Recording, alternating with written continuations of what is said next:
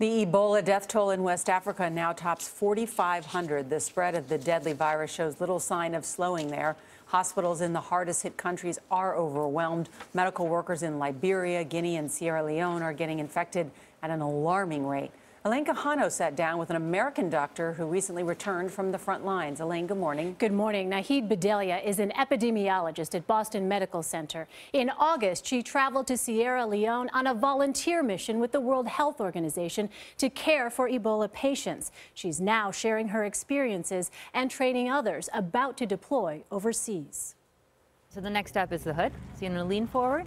At the CDC's Mock Ebola Ward in Anniston, Alabama last week, Dr. Nahid Bhadelia showed medical clinicians how to get in and out of their personal protective equipment or PPEs. Just be aware not to touch your boots. Bhadelia knows firsthand that these suits pull out and this training can save doctors' lives from the Ebola virus.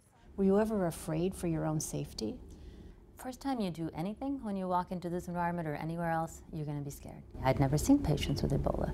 In August, Bhadelia, who is director of infection control at the National Emerging Infectious Diseases Laboratories at Boston University, worked inside this ramshackle Kenema Government Hospital in Sierra Leone.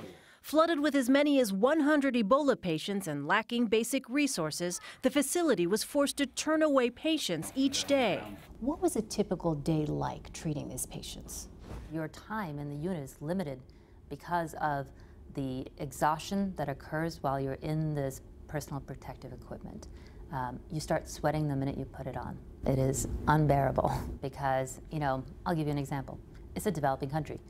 Electricity goes out all the time. You're in the unit.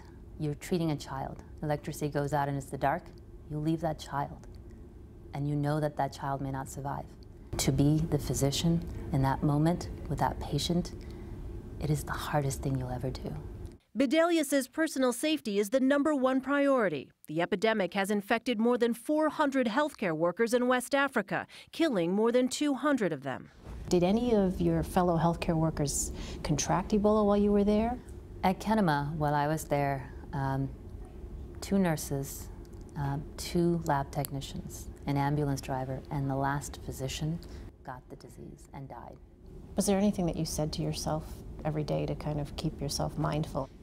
I was in the tent one of the last days that I was there waiting, um, taking care of this man who was uh, older and he was very, very sick said, you know, over and over again, what's your name? Tell me your name. And he kept mumbling the same thing over and over again. And then I finally leaned in, and what he was saying is, I am nobody.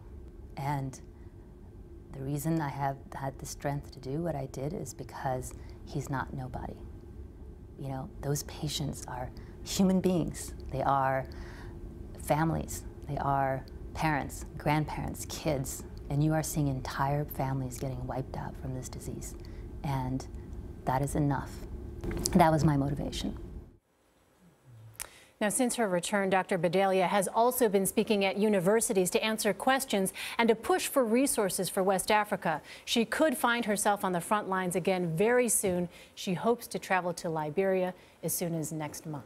Wow, she's incredibly courageous. She is. And she does actually worry about one thing, though. She's been watching this debate over travel restrictions to West Africa. She's very concerned that if, in fact, there is some kind of restriction, that healthcare workers are not going to be able to get in and out and stop the Ebola virus at its epicenter. That's why we're. Yeah, thank you very much.